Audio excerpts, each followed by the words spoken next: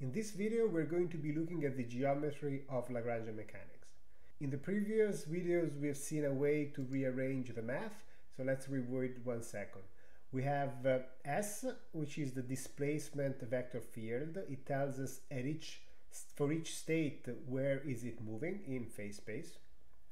We have uh, theta, which is uh, another vector field of components p0 and minus h. We have seen the Lagrangian is the scalar product between the two, and we have seen that the action is the line integral of theta.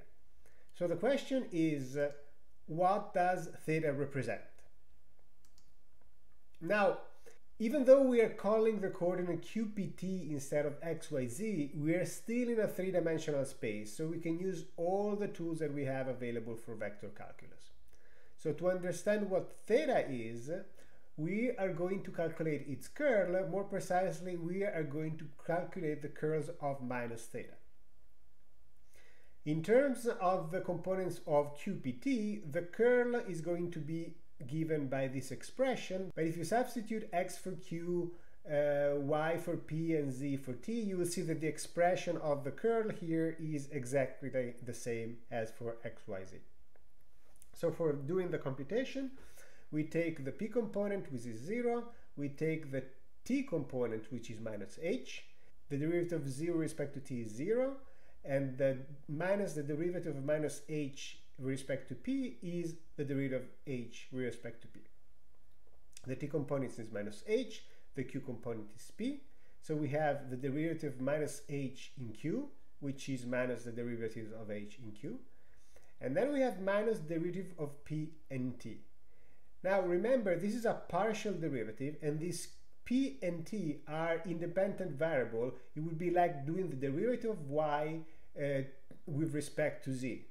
These are independent coordinate, and so the derivative of p with respect to t is going to be zero. Again, this is because it's the partial derivative and not the total derivative, so we are not moving along a trajectory, we're just moving along the t direction. So the p component of the curls of minus theta is minus derivative of h in q. For the last component, we take the component in q, which is going to be p, and the component in p, which is going to be 0. So we have the derivative in p with respect to p, which is 1, minus the derivative of 0 with respect to q, which is 0. So now let's compare the components of the curls of minus theta to the components of s. We have dq dt and partial derivative of h in respect to p. Well, because of uh, Hamilton's equation, this is equal to this. Then we have dp dt and minus derivative of h in q. Well, again, for the Hamilton's equation, these two terms are the same, are equal. And then we have the derivative of time in time is equal to 1, and this is always true.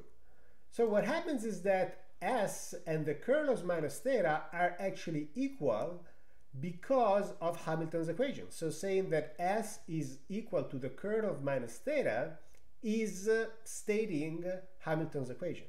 So minus theta is the vector potential for S. It's uh, a vector field whose curl is S. So we can summarize that we have S, we have a vector field called theta, and S is the curl of minus theta, it's minus the curl of theta. So the Lagrangian is uh, S the, with a scalar product with uh, minus its vector potential.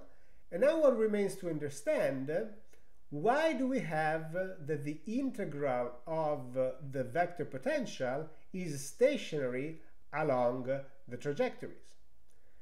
And what we want to show is that uh, Hamilton's principle is just a consequence of Hamilton's equation. That is, once we set this relationship between s and theta, then we automatically have uh, that uh, the line integral of theta is uh, stationary.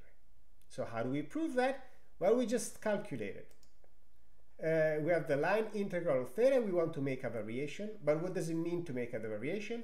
It means to make the line integral on gamma and subtracting the line integral over gamma prime, which is going to be a small variation on gamma.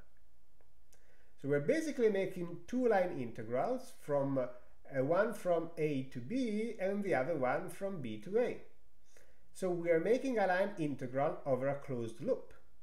But if we're making a line integral over a closed loop, we can use Stokes' theorem. So we are going to have uh, that the variation is just going to be e the integral of the curl of theta along sigma, the surface that it's between the original trajectory and the, and the small variation. But now remember that uh, S is tangent to gamma by construction because it's telling us where the states are going. And also S is minus the curl of theta. Therefore, the curl of theta is tangent to sigma. But if the curl of theta is tangent to sigma, then the surface integral has to be zero. So that we have the line integral on gamma is going to be equal to the line integral that we do on gamma prime. The line integral is stationary.